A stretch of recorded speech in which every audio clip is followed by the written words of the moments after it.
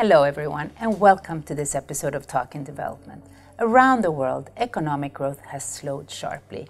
Developing countries, in particular, find themselves caught in an environment of tight financial conditions, low inflow of investment, persistent inflation, and shrinking fiscal space at a time when needs are greater than ever.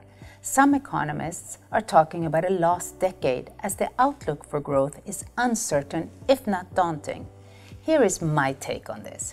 We at the World Bank know that without growth, poverty can't be reduced and fiscal space for anything but short-term and urgent priorities gets squeezed. So we are laser focused on helping our clients develop and implement growth strategies. This includes achieving economies characterized by efficiency in the public sector, competitiveness across key sectors, private capital mobilization for financing, but also for innovation and skills development, and inevitably a relentless focus on human capital formation with skills harnessed by the education system matching the needs of the job market. In the first in a series of discussions with our regional chief economist, I'm delighted to be joined by Andrew Dabalen, the World Bank's chief economist for sub-Saharan Africa, and Roberta Gatti, the World Bank's chief economist for the Middle East and North Africa. Africa and the Middle East are among the parts of the world hardest hit by this global economic volatility, but they're also highly dynamic regions.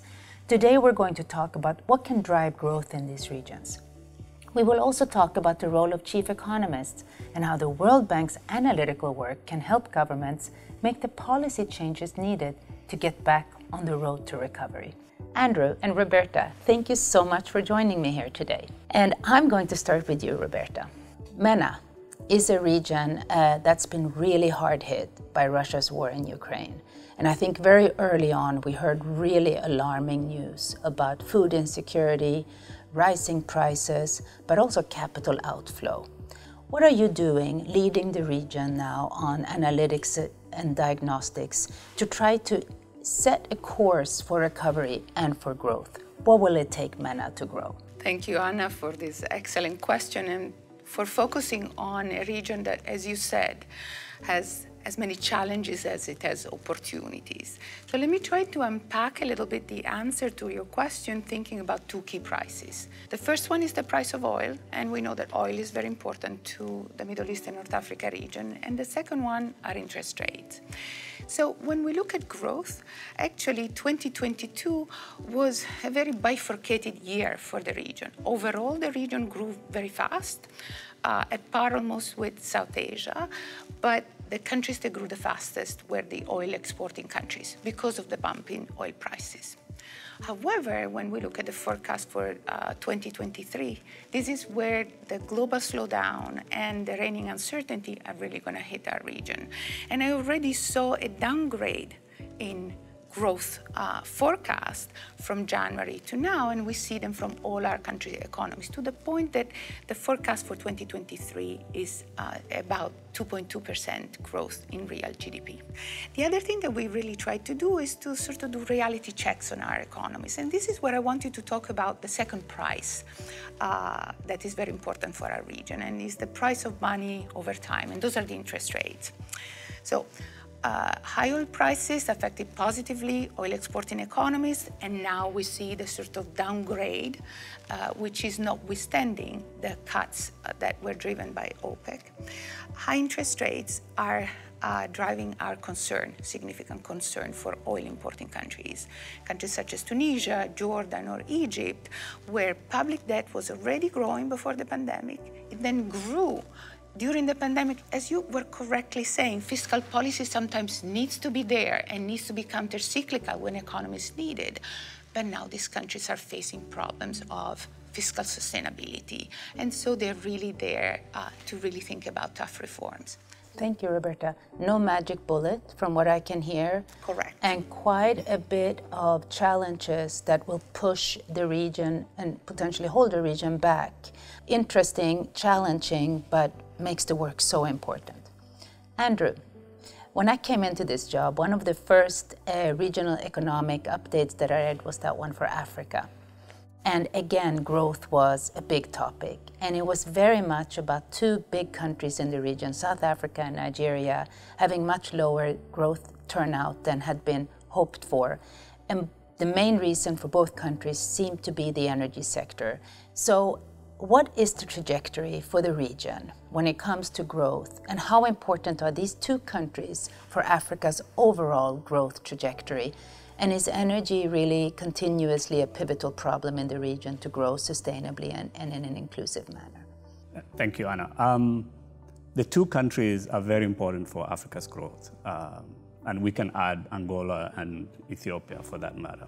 So these are the big economies, and they, they, they take a big share of Africa's growth, uh, you know, 50, 60% of the GDP of the region. So if they're not doing well, the region as a whole will not be doing well. Three things that we've learned about growth in Africa in general. One is that traditionally it has not really been very high compared to other regions of the world that have actually had a lot of success in, in reducing poverty. So that's the first. Second, it hasn't been sustained over a long period of time, right? So you get these accelerations for a few decades or even a few years, and then either decline or stagnation for a long, long period of time, then recovery, and then stagnation, and so on and so on, right? So up and down. So it's not been sustained.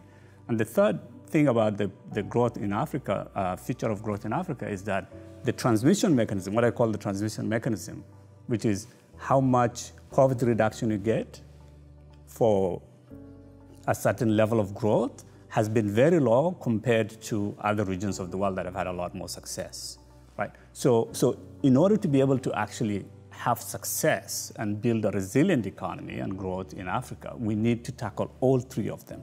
We need to raise the growth level, we need to sustain it over a long period of time, decades, and then we need to actually really improve the efficiency of the transmission mechanisms.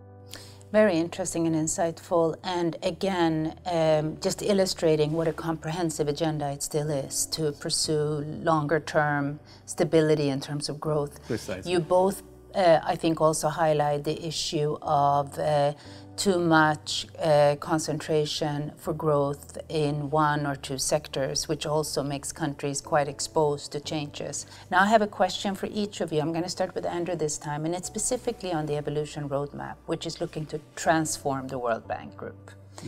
How do you see your role, you as chief economist for the region, and your team of economists in your in your in your unit? What is your role to help the bank transform? Now, we think that there are two ways in which the World Bank can actually help uh, achieve those, those goals. One is to try and find some way to help African countries have agricultural transformation, because that's where most of the poor are, that's where most of the population actually earn their living. And in order to do that, we really need to get to the bottom of understanding water management. The second part is really to try and think about in the non-farm sectors how to increase jobs. Place where we, our knowledge is actually lacking is understanding, getting inside the enterprises and understanding what constrains them, uh, what kinds of um, value chains are they linked to, uh, what, what kinds of um, issues they, they, they confront on a day-to-day basis in order to be able to actually improve their efficiency and competitiveness. And again, there we really need to collect information around farms and enterprises to be able to help them uh, think about ways in which they can improve productivity. So that, for us, those are the two areas of focus on, on, on research Thank to be able to yeah. transform. Thank you so much. Roberta, same question for you. How are you and your team contributing to transforming the bank through the evolution roadmap? Thank what do you, you want to do? Thank you, Anna. Well, let me just start with saying the pleasure that I have in seeing a renewed emphasis on knowledge and the role of knowledge in the evolution roadmap. If I think about the what, so the key themes where we're going to focus on, I think one will be very aligned with what Andrew was saying, which is going to be job creation. As a region, the Middle East and North Africa shares a demographic uh, outlook with Africa, which is also tremendous potential for the region. And so this will mean understanding better the role of the state and how to shape the role of the state as an enabler for growth in the region. The second part, the second what, I think it will have to do with thinking about the green transition. The green transition. So, understanding the diversification process, and especially understanding the trade-offs that will come and how these trade-offs along the green transition path will affect the most uh, disadvantaged.